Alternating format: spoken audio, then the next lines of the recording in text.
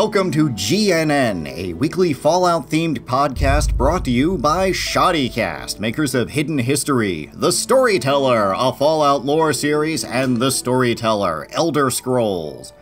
I'm your host, Charles Battersby, and with me is my co host, Austin Hourigan. This has been a pretty big week for Fallout people. So, we had a bunch of news drop during our podcast last week, as the PR team at Bethesda always does. Uh, now, aside from that, uh, we've got uh, updates to Fallout Shelter, we got the live action trailer, we have a little more uh, of a look at Piper, one of the companions from the game. And of course, this week is the big Fallout sale to honor the anniversary of the Great War in October 23rd, 2077, which hasn't actually happened yet, but it's the anniversary somehow. It's the it's the pre the pre-versary. the pre-versary of the thing that's happening in 62 years. So let's start with the Fallout Shelter update. Uh, Austin, was was the new stuff enough to get you to play the game again? no, it wasn't, and I kind of feel like I don't know if that's actually indicative of the update or if it's just I got I got bored of Fallout Shelter about like three weeks into it. I just I think once I realized that the more you actually played it, like the more you had it open, the harder the game was then I, I, stopped playing it as much. I was like, okay, well, I'll check in every once in a while, and then I'll never get these stupid raids, and then and then I just stopped playing altogether. so yeah, no, I've been I've been pretty bad about about picking it up, even for educational purposes. Now, did you uh, play? Did you reach the maximum capacity for your vault population? No, I I was trying to do aggressive expansion, and that's kind of when that's when I uh, that's when I stopped getting interested. All right. Well, I I did reinstall it and played a little bit of it, and uh, one of the cool new features they've installed is a a cloud save system. Uh, which oh good yeah I mean that that would have been great if they'd had it a month ago when I erased the game from my uh, uh, my phone and then reinstalled it uh, over the weekend to learn that no it doesn't save your your vault's progress um, anywhere after you uninstall I'm, it. And, I'm amazed that they didn't have that sooner because there were some really bad game breaking bugs that would totally trash your save. Yeah, and especially with all the the premium content that I purchased yeah. with real world money dollars and stuff. So now it's gone, yeah. Charles. I, I, had two different versions of James in my vault, so I, am a little sad to see my father die. I guess like the third time now. Uh, see, I still have I still have mine installed, so I guess I should probably hop on there and update it, and then send send the cloud save up there, and then I could never actually play it again. But at least I'd be secure knowing that as long as the servers are there, my money is safe. Then one day the servers will shut down, and everyone will will talk about uh, oh Fallout Shelter was so awesome when it ran back when we had iPhones, and now it's gone. That's how it always is with the big MMO when they shut down the servers. Everyone gets all weepy. It's like my City of Heroes character is gone forever. All right, so uh, one of the things that uh, you get in the new update is uh, you get to have Piper from Fallout 4 show up in your game as a premium character, and she's free as soon as you start the game, along with five lunchboxes. Um, so first, you know, I think this is a little bit of a game breaker for people that are just now starting the game because she will show up, you know, right when you get, get your tutorial level, you know, you're going to have a handful of people and then suddenly a level 39 character shows up. Holy cow. Yes, with, with, with a, a, bunch of lunch boxes. So it, it's a little bit of a game breaker. I think they should have, you know, made it so that Piper doesn't show up until you reach a certain level in the game. Um, uh, yeah, but it, it is weird. It's like as soon as she showed up, I, you know popped open those lunch boxes, equipped her with one of the many weapons I now had, and sent her off into the wasteland to go out and harvest stuff. And oh wait, I did that in the middle of the night, so she she's still out there in the wasteland. I should I should turn on the game and you know pull her pull her back. Um, um, but you know Piper, uh, aside from getting her in. Uh, Fallout Shelter, we got a little video of her of what she's going to be like in the game. So, uh, so Austin, am I just a creepy pervert for seeing some rampant double entendres and innuendo in that little clip that they showed of her? No, she's like, she's like, how do you feel about newspapers? And then at the very end, it's like, why don't you uh come to my office? I've got like a, an article, I think you'd be perfect to fill. I mean, perfect to do do to do the article, do do do the article. Yeah, th- this kind of came across as like the the pornographic unofficial parody of Newsies. Yes. yes. I've got your oversized Sunday edition right here, ma'am. I can stick it through the mail slot, but I'm not sure it'll fit.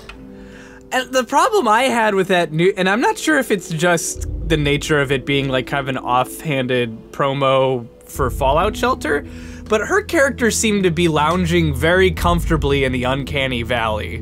Like just the way she spoke and the way her face was modeled, I found it very like unsettling. Yeah, the the lip syncing of the character. Um, yeah, you, are right. There there is that weird point where it's like you can see the teeth and the, the lips perfectly defined inside, and it, it uh, you you uh, I had that that same little squick myself. Yeah, I think because she apparently is being set up as a romanceable character, they're trying to make her look as much like a lifelike human female as possible and they you know they, they did slip into the the uncanny valley of you know the inflatable love doll I was gonna say when you say lifelike human female, the first thing I thought of was a blow up sex doll.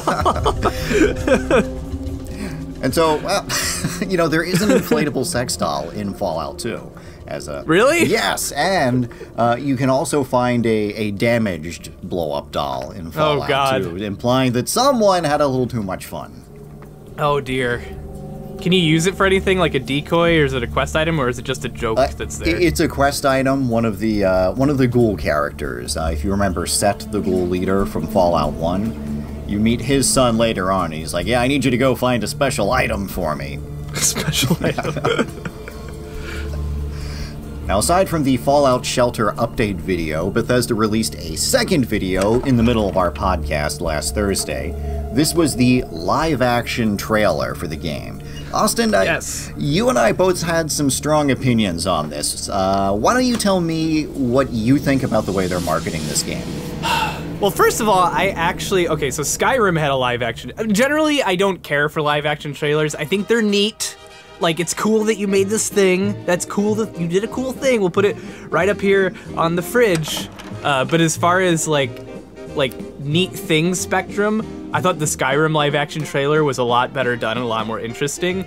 It just, I didn't care for the weird, like, style choices they made for it, and I'm not really certain that a live action trailer actually informs anyone about your game or do, do they make people want to buy a game? Like, I don't know the data on it, but to me, it doesn't make me, it makes me feel weird. I'm like, this doesn't make me want to play your game. This just, reminds me of the 90s when they didn't actually have decent graphics and had to use live action stuff to like convince you that like Zelda or that Link was an actual thing that was cool that you wanted to play as because we had to use our imaginations back then. But nowadays it just seems weird when they have live action trailers. It feels like an artifact of an ancient time uh, now, right after the game was first announced, I did a, a guest spot on our, our rival podcast, Ham Radio. Ugh, those bastards. They, they, dragged me out of my bed in the middle of the night and made me do it and vowed revenge against them. Because we hate those guys at Ham Radio.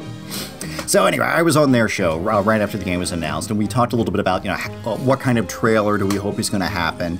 And way back then, I said the one thing I hope they don't do is make a trailer that markets this game as you're going to be, you know, this character and you're going to run around with your guns and shoot the monsters.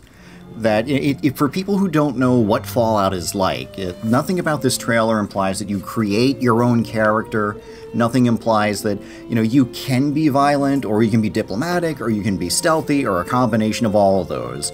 And, you know, it just, th this trailer gives the sense that it's like, you're Johnny Gunman and you're gonna run around with your space gun killing the space mutants with your space dog. And it's like Halo, but there's a German Shepherd in it. And I think that's so true. Like if you're like, I didn't even think about it from like a like because you'd think that a trailer like this is designed to market specifically to people who have not who are not fallout fans and so if they have no context all they're seeing is like the generic dude bro walking around shooting monsters like that doesn't tell you anything yeah, so I, you know, in, in terms of you know, all of us Fallout fans, like, oh, hey, that that's neat because he looks like the thing from the game. Uh, but people who have no idea what Fallout is, they're going to see this and they aren't going to get an idea of what the game is really like. And I think they're trying to they're trying to give a false impression of what the game is like so that people who are already going to buy it will be excited about it rather than saying, hey, if you've never heard of Fallout, this is what Fallout is like, so you might like it. And, and I think a lot of my friends who would really like Fallout have seen, you know, some of the marketing for it and, you know, they're like, oh, it's just another post-apocalyptic, you know, gun shooter game.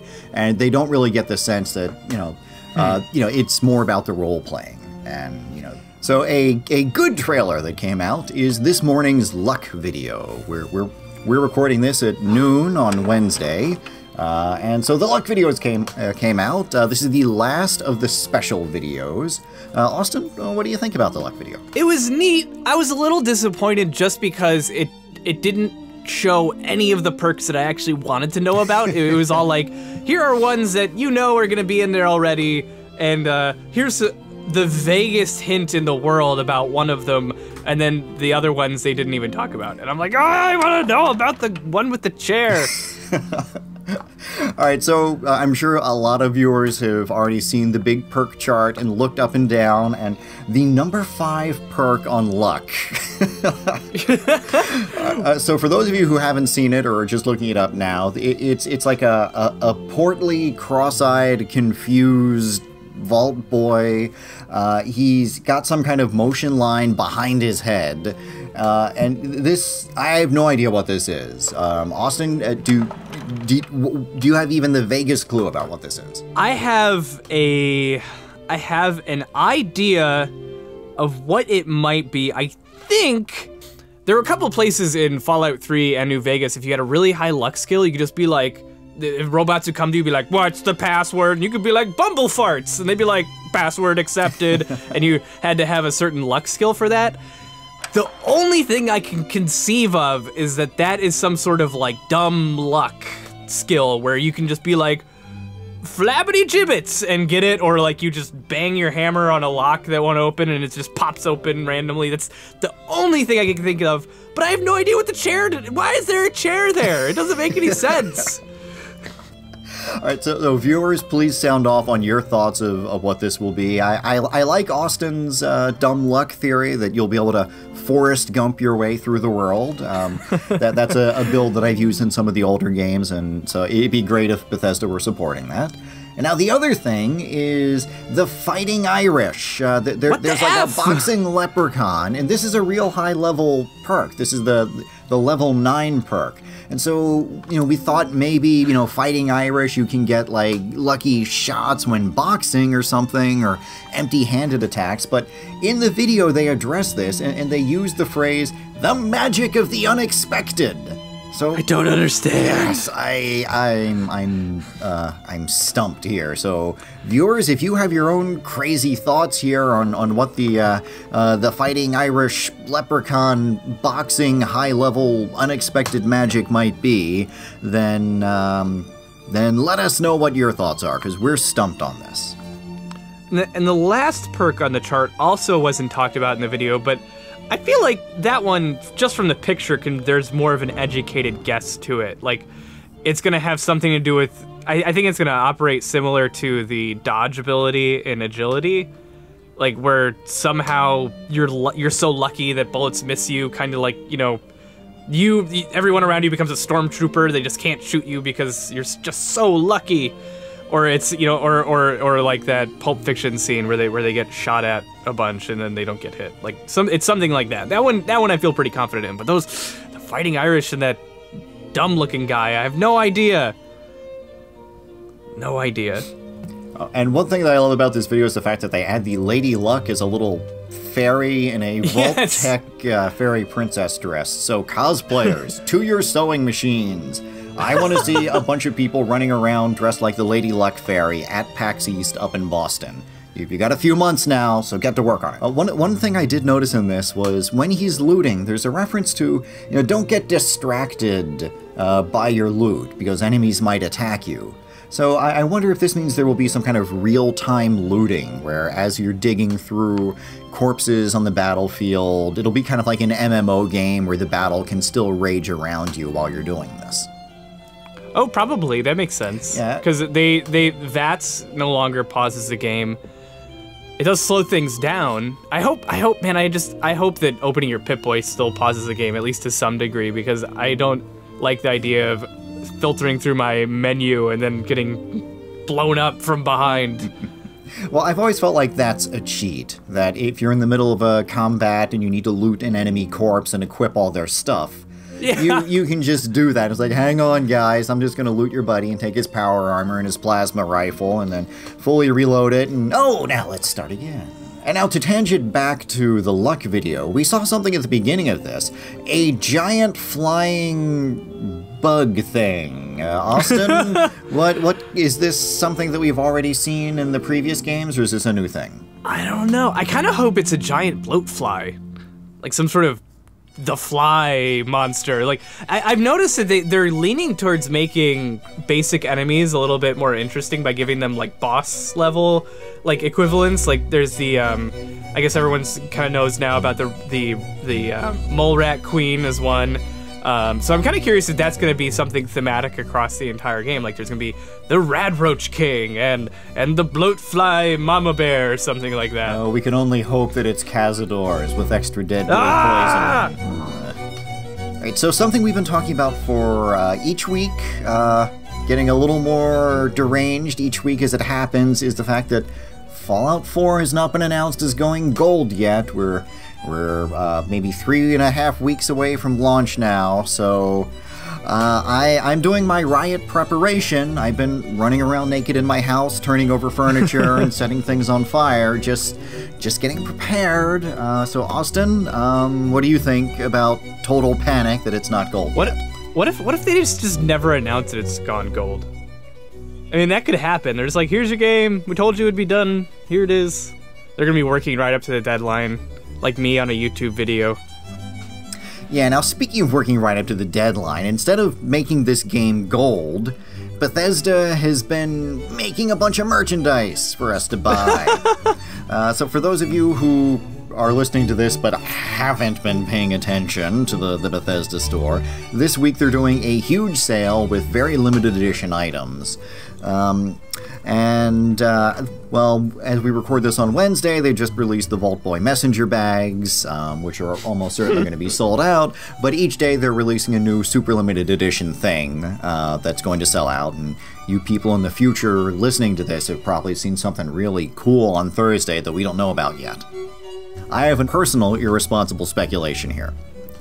We had the live action video that was just, you know, 60 seconds long with a live action guy and some uh, computer CGI po- compositing.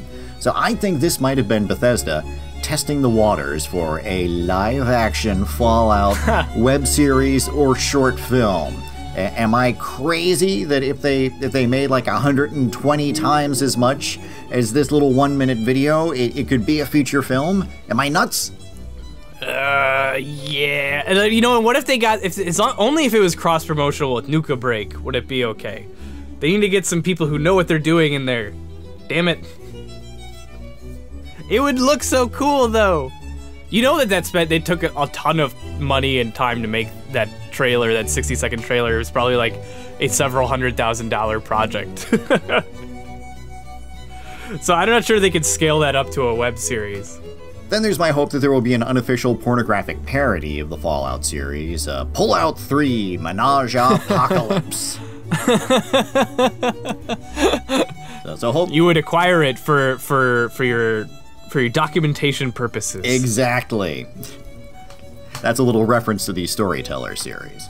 Uh, but but uh, you know maybe they can get the guy from this video. If you know we we haven't seen his face, but perhaps he's you know, incredibly handsome and fills out the vault suit well, and you know they could just cast him in uh, uh, in a, a pornographic parody that uh, skirts the uh, the copyright laws. And so for those of you who are hoping for that, that that's not terribly insightful what I just said. Maybe we should scratch all that.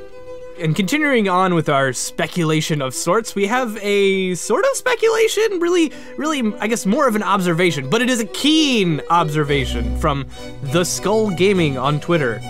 He was uh, talking about the uh, one of the original uh, trailers or uh, play spots where you see the arm of the protagonist, and he says his arm uh, has a wedding ring on it, which is a really nice spot. I didn't really uh, notice that, but I, I like that little detail that that he's still wearing his wedding ring. Uh, at some point after leaving the vault. If you look super close, when he raises the Pip-Boy, which is on his left wrist up, you can see that mm-hmm. wedding ring dangling there on the side of the screen. And uh, King Majah from Twitter has an irresponsible or semi responsible speculation from the Charisma video. And he says that you see the Vault Boy faints after having alcohol and is tied to a pole with nothing on. Could this happen to you? Charles, what do you think? I think it would be really cool if your character drinks too much alcohol or, or uses too much of the wrong chems, you pass out, and will wake up and discover that you've been robbed. If you sleep in an unsecure location, that would be pretty cool. In the previous games, you could only just sleep on certain areas, or you could just wait anywhere you wanted to. So this is an interesting idea for a mechanic, and I think if they put it in the video, there may be something to it. That the, the penalty for you know chemical abuse or drinking too much, there, there's like a real tangible thing where if you do this, you know, in a in a relatively safe location, you'll just wake up and maybe be in a different location. Um, it's a weird mechanic, and in a free roaming game, it, it might be troublesome if you you know if that happens like during a mission. So I, would like to see something like this. Um, Austin, do you think that you know they could work that in in terms of not screwing up a mission from abusing alcohol in the middle of a story-based mission? I'm guessing that it's more um, that if anything, it's a reference to a quest that they're going to put in because that's been really popular the past like five or so years. Uh, is to put um, some sort of uh, the uh, like references to the Hangover, basically, where you get in a drinking contest with somebody and you black out and you wake up naked. I just I just beat The Witcher 2, and there's a quest like that in there where you wake up with a naked lady tattooed on your neck and you're naked somewhere. And Skyrim had a quest like that, and I think it's more of a just a cheeky reference to some sort of drinking contest based quest that you may have somewhere. Okay, and PSO fan 220 writes. My irresponsible speculation is that Dr. Barrows from Fallout 3 found a cure for ghoulification, and that it will be possible for the sole survivor to become a ghoul and to have Dr. Barrows cure it. Now, it's the plot of Morrowind! now, the, the cure for um, ghoulification has been a long running thing in the Fallout games, actually. And in Fallout 2, it was really pivotal uh, in the Ghoul City of Gecko and Vault City, then again in Fallout 3. And so far, none of the games have actually said there is a cure. But one thing that you should uh, keep an eye out for in uh, the perk chart is one of the perks shows a kind of ghoulified character. So hmm. I, I, think it is going to be possible that you can become either a ghoul or partially ghoulify, and that the cure for ghoulification might be a quest that you can embark on. Uh, Austin, is this outlandish or reasonable? my heart says it's outlandish, but my head. Wait, no, my heart also wants it to be reasonable because I think it'd be so cool to be a ghoul. But no, it's probably ridiculous. and now Dr. Barrows, you know, I think if the quest does end up in, Dr. Barrows might come back, or it might be another character. But uh, I'm going to contradict Austin here, and I'm going to say I think Ooh. early stage ghoulification is definitely going to be something that can happen to your character. And I think a reverse ghoulification quest line is going to be a part of it. So, so that'd we'll be see. super cool. But I, I still don't think they'll commit to full ghoulification. Now, although ghoulification is a subject for Ask a Lore Nut, this week our Ask a Lore Nut, no one actually asked us, so we're just going to do it. Uh, we're going to talk about the Fallout timeline and the significance of tomorrow, Friday, October 23rd. Austin, why is that date important? That's the day the bombs dropped. It's the day of the Great War in the Fallout timeline.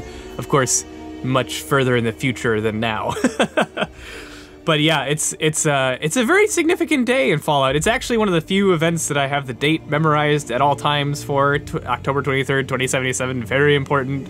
Uh, you will find in in Fallout you'll occasionally um, find terminal entries from that day that start out like normal, like, oh, Bob is being such a jerk again at the office. Oh no, the sirens went off. It's another stupid drill. And then the next like entry will be like a stream of like nonsense letters, like as like as they get you know blasted by radiation and die. Uh, so it's a, it's a it's a pretty uh, it's a pretty important day. It's the uh, according to Fallout 4, as far as we know right now, it's actually the day that you will be playing um, the intro section of Fallout 4 on. So it's it's actually a pretty big deal. There's a little bit of dramatic foreshadowing there, where the player knows something the character doesn't. Yes. And we also do a lot of gags with this in the uh, the Fallout lore series. Anytime we do a commercial for a product, it'll always be coming holiday 2077 or in theaters Thanksgiving weekend 2077. In fact, um, wasn't there a, there was a, a, a in Fallout 3? I think there was a quest about like a Nuka Cola Quantum going out to be shipped on the 20 uh, the 23rd or something like that, and so that's why you can't find big caches of it anywhere because it got blown across the wasteland. In the yes, it was sent out to the the test markets in the period Yes. leading up to its big launch. And so, yeah, I, I always love stuff that you read. They're like, yeah, we're preparing to send this out October 30th, and, you know, blah. blah. It's like, no, sorry, guys. It's not actually going to happen. Now, something that's particularly interesting about this year's uh, October 23rd is that it comes two days after October 21st, 2015, the day Marty McFly arrives in the future. Ooh. So I I regret that I will probably have died of old age by the time the real 2077 rolls around. But it's my sincere hope that there are people that uh, look around on October 23rd, 2077, and remember this old game that came out uh, 80 years ago, and uh, and think about, you know, hey, this is the day that the world's supposed to end. So I, I hope that uh, 60 years from now, there's a, a huge, crazy cult of conspiracy theorists who really are digging bunkers in their backyard uh, when the real apocalypse comes. So, uh, those of you who are listening, let's play a joke on the future. And let's just promote the notion that it's really going to happen in the real 2077. So tell your children and your grandchildren so that your great grandchildren, 62 years from now, will really live in a panic about this. So, so we, we got. And then and then they'll they'll play a retro game of you know for them Fallout. They'll be like, oh no, this game is in on the conspiracy. They know about it. Exactly. So, so, so hen- henceforth, after this podcast, the, the whole Fallout fan community, it's one big joke we're playing on future generations. So,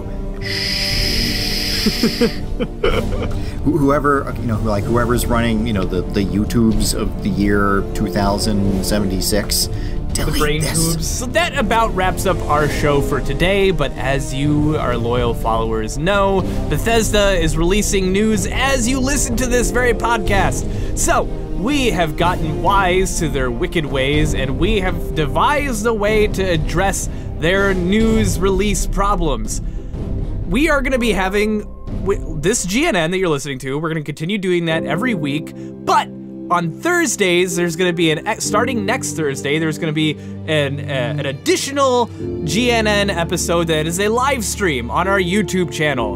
Uh, that'll be Thursday afternoons after this podcast is live, and y'all have had a general chance to listen to it. We will be covering whatever devious news that Bethesda has tried to sneak past us on our YouTube channel. So you get double the GNN for the same price of nothing.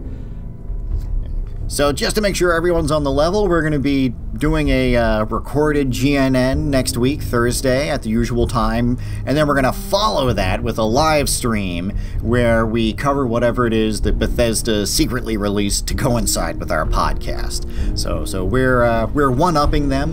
We're going to force them to to either start releasing all of their uh, news on Thursday nights at midnight or on Friday, uh, or they'll they'll have just walked right into our, our cunning trap. So. Waha!